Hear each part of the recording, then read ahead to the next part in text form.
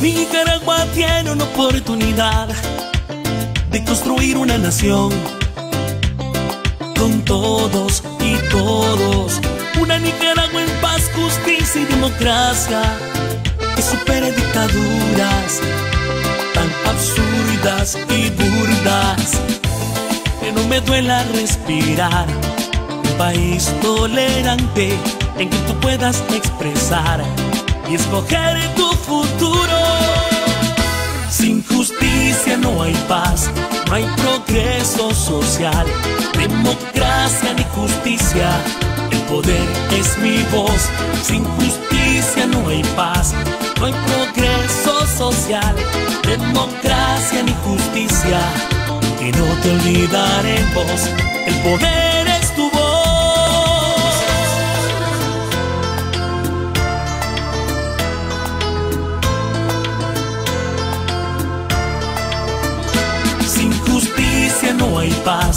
no hay progreso social, democracia ni justicia. El poder es mi voz, sin justicia no hay paz, no hay progreso social, democracia ni justicia. Y no te olvidaremos, el poder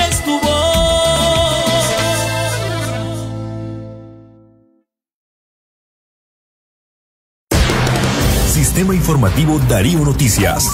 Vamos a continuar con la información porque la Darío Noticias, la manera más eficiente de informarte.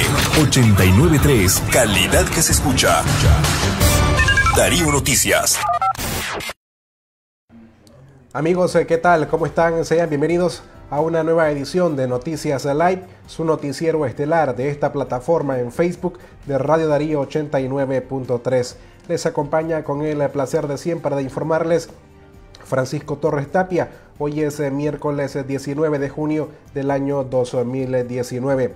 Gracias por acompañarnos en esta emisión informativa. Recuerde siempre compartir nuestra transmisión para que al igual que usted, sus contactos en las redes sociales estén al tanto de lo que acontece en el país a través de Radio Darío.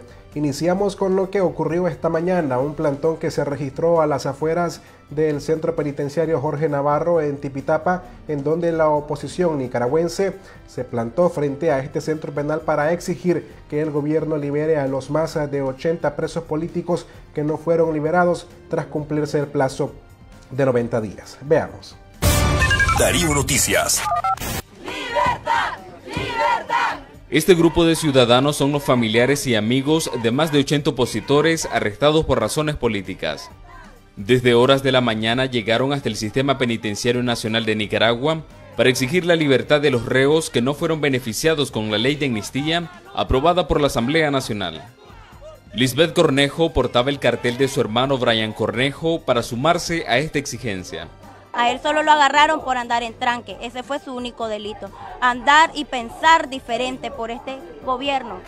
El encarcelamiento de estos manifestantes es una estrategia del gobierno del presidente Daniel Ortega, aseguró el opositor Juan Sebastián Chamorro, uno de los interlocutores en el diálogo nacional. Aquí lo que está tratando es mantener presos políticos para desviar la, eh, eh, la, visión, para desviar la atención hacia el tema fundamental eh, que vendría en esta nueva etapa una vez resuelto el tema de los presos políticos, como es la celebración de elecciones libres, anticipadas, observadas. Y es que la delegación del gobierno en la mesa de negociación se comprometió a liberar a todos los ciudadanos que se vieron involucrados en el conflicto social de Nicaragua un acuerdo que sí cumplió el oficialismo, según el diputado Luis Barbosa. Bueno, el gobierno ha cumplido porque había una lista consensuada. Que aparezcan nuevas personas, ah, porque ahora bajo la figura que son reos políticos quieres liberar un montón de gente. Ante este panorama, diputados del Parlamento Europeo y funcionarios de Estados Unidos advierten que habrá nuevas sanciones a la administración sandinista si no excarcela a todos los opositores. Darío Noticias. Por otra parte, la oposición nicaragüense, integrada por la Alianza Cívica por la Justicia y la Democracia, la Unidad Nacional Azul y Blanco y la Unión de Presas y Presos Políticos de Nicaragua ofrecieron una rueda de prensa esta tarde para anunciar que rechazan el no cumplimiento del gobierno en cuanto a la liberación de 85 ciudadanos nicaragüenses que continúan presos en los centros penitenciales del país. Asimismo, para rechazar la amnistía o la ley de amnistía que aprobó el gobierno el recién pasado 8 de junio. Darío Noticias.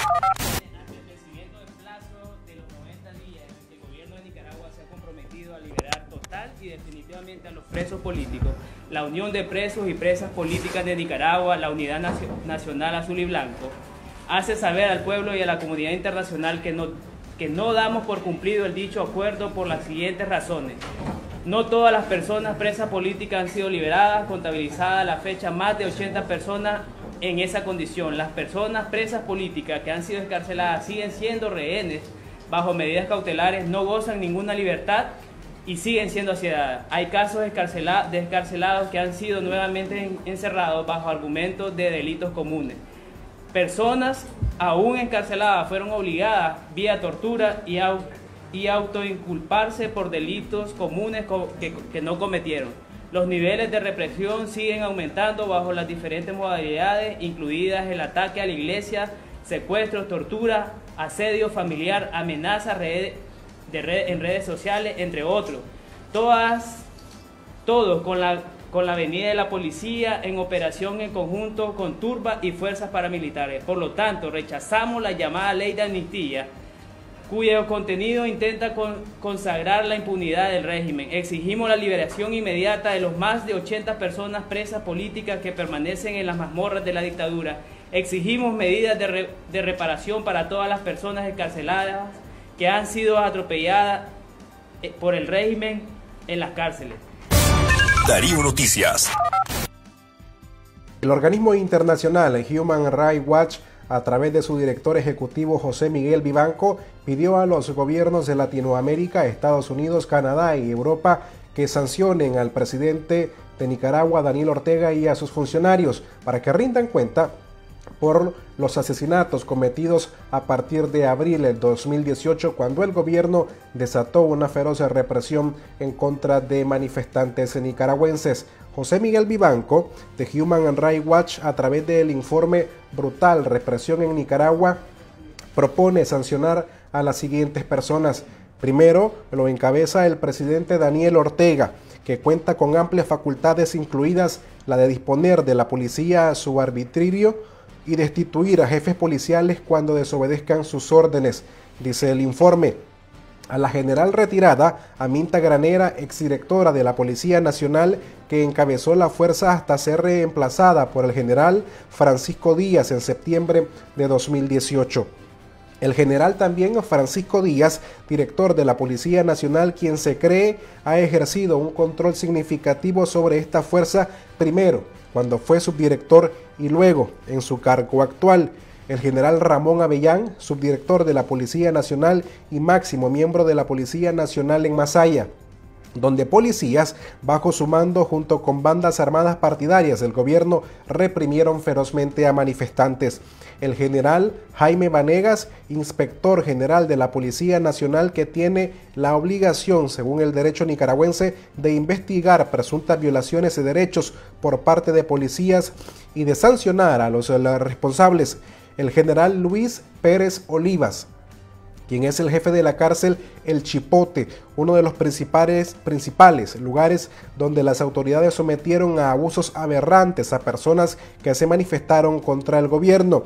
Y por último, a el general Justo Pastora Urbina, jefe de la Dirección de Operaciones Especiales que tuvo un papel central en la represión en todo el país, según el grupo interdisciplinario de expertos independientes. Proponer a estas personas, de acuerdo a José Miguel Vivanco de Human Rights Watch, la propuesta es congelar todos sus bienes y retirar la visa para que no puedan visitar otros países. Veamos esta nota de Human Rights Watch. Darío Noticias.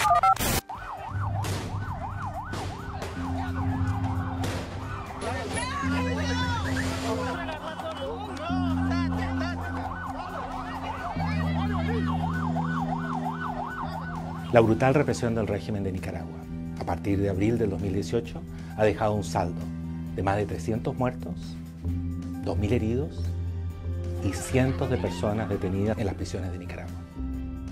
Mi hijo es estudiante, tiene 21 años de edad. Él en conjunto con otros jóvenes se autoconvocaron a raíz de todas las injusticias que estaban viendo.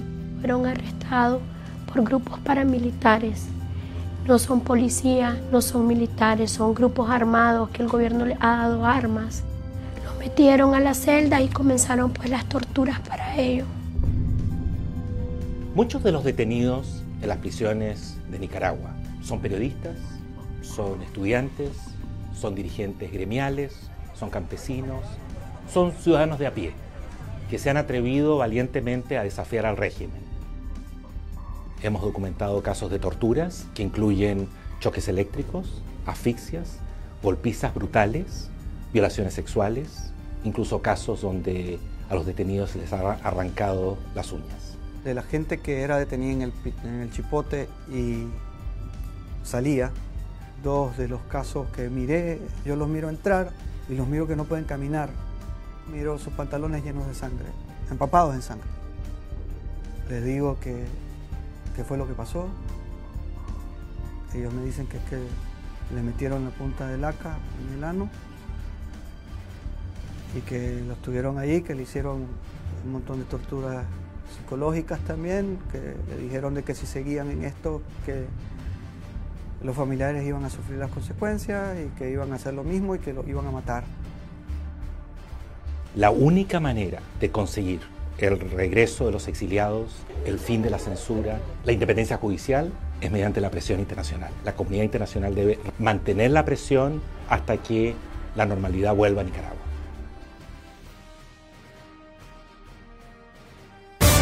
Darío Noticias. Gracias eh, por seguir informándose con nosotros en Noticias Live. En otro orden, Lucía Pineda Wow, la periodista, fue recibida en la Casa Presidencial de Costa Rica por el presidente Carlos Alvarado. Pineda Wow le pidió al mandatario costarricense que este país retome el caso de Nicaragua en los foros internacionales. Darío Noticias. Eso le iba a pedir para que no se suelte el tema a nivel internacional, ya porque el hecho no, que nos liberan bajo esa autonomía, ¿verdad? Que dio el gobierno de Ortega, eh, que, no, que, que, no se apague ya esa voz, que sigan pues en los diferentes foros internacionales. Eso es un bonito título. Lucía Pineda pide al presidente no, no soltar el tema en el ámbito internacional. Eso es un buen sí. título bueno, para, para, practicar para periodísticamente. Practicar periodísticamente sí. Titular. Sí, sí, sí. Mira, la Corte Interamericana ha sido muy clara sí. desde hace muchos años. Las amnistías o las autoamnistías son contrarias a la Convención Americana y no surten efecto. Eso tarde o temprano se tendrá que ver. Lo que pasa es unos temas para tocar ahora mientras no haya solución. Sabe que nuestro canciller fue, sí. fue juez de bueno, la y de la dio Corte. la, la, noticia, pues el canciller está preparando ¿verdad? un proyecto de resolución sí. para la OEA. Esa es la noticia. Sí, ahí está la noticia. Sí. Pero eh, precisamente pues yo les iba a pedir eso, que no nos dejen solos, no, no dejen solos a la gente de Nicaragua en ese sentido. Ya, porque siempre lo que afecta a Nicaragua afecta a Costa Rica, lo que afecta a Costa Rica afecta también a Nicaragua. Y si nos va bien a los dos países, pues felices y contentos. Y yo pues no pierdo las esperanzas que esas libertades eh, pues lleguen, algún día va a llegar, pues no hay mal que dure 100 años y vamos a tener pues esa democracia que está reclamando el pueblo de Nicaragua, el respeto sobre todo también a los derechos humanos. Darío Noticias. Seguimos informando. Por otra parte, Álvaro Vargas, miembro de la Alianza Cívica, dijo que presentarán a los testigos y acompañantes internacionales de la mesa de negociación en nuestro país documentación en donde prueban que los 85 reos que no fueron liberados, sus casos pertenecen a casos políticos. Darío Noticias. Eh, estamos, hemos estado trabajando en las últimas semanas en tener toda la documentación en los expedientes por presos para demostrar que son presos políticos. Eh, tuvimos reunión el día de ayer con los garantes del proceso de liberación, entonces lo que nos queda por hacer es ver la manera de cómo podemos eh, crear una mesa técnica con el gobierno para poder de alguna manera demostrar y entregar todas estas pruebas donde estos 84, 89 eh, presos políticos que hoy tenemos son verdaderamente presos políticos. Darío Noticias. Y por último, Yubran Suazo, quien es el líder del movimiento 19 de abril en la ciudad de Masaya y que fue liberado el martes pasado, intenta reconstruir tanto su negocio como su casa de habitación, misma que fue destruida el año pasado por grupos paramilitares. Darío Noticias. Son los escombros de lo que un día fue una pequeña fábrica de artesanía en la ciudad de Masaya. Su propietario, Yubran Suazo, señala a la Policía Nacional y civiles armados de ser los responsables de la quema. Suazo hace unos días salió de prisión tras ser acusado por las autoridades nicaragüenses de cometer supuestos actos terroristas. Vinieron eh, turbas de paramilitares y miembros de la policía, en el cual irrumpieron violentamente en, en mi casa, que era también negocio, y posteriormente le prendieron fuego. Yubran lideró las protestas contra el gobierno desde abril del año pasado. Desde que fue excarcelado, su vida no ha sido fácil. Sus esperanzas están puestas en levantar nuevamente su negocio con el apoyo de su comunidad. Como es algo representativo al nicaragüense, que busca, aún en medio de los problemas, de los momentos difíciles, pues la forma de cómo ir surgiendo para eh, costear y garantizar los frijoles en la mesa. Recientemente la Asamblea Nacional aprobó la Ley de Atención a Víctimas del Terrorismo, cuya aplicación garantiza el resarcimiento de los daños a los simpatizantes del gobierno y no a los opositores, porque según el subprocurador Adolfo Jarquín, ellos fueron los que provocaron el caos en el país. Cometieron asesinatos, crímenes, delitos por crímenes de odio, quemaron edificios públicos y privados, torturaron gente. Mientras el gobierno del presidente Daniel Ortega resarce los daños a sus simpatizantes, Yubran y cientos de opositores tratan de rehacer sus vidas en un país que sigue sumergido en una crisis política. Darío Noticias. Hasta aquí las noticias. Gracias por habernos acompañado. Nos encontramos mañana. Buenas noches. Darío Noticias. Sistema Informativo Darío Noticias. Vamos a continuar con la información porque la Darío Noticias, la manera más eficiente de informarte. 893, calidad que se escucha. Darío Noticias.